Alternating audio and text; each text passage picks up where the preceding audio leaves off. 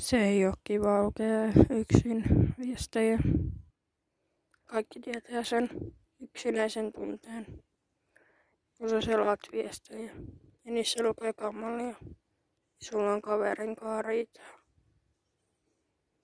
Mikään asia ei ole hyvin, jos sulla on sen kanssa riitaa.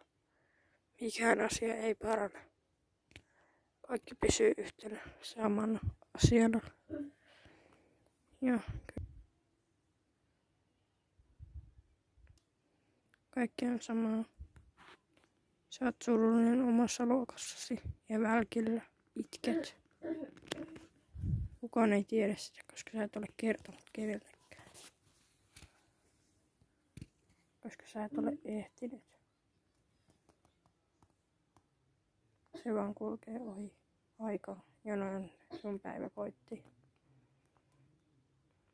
Joten uskaltakaa olla omia itsejänne. Ja joo. Moikka, tilatkaa kanavaa.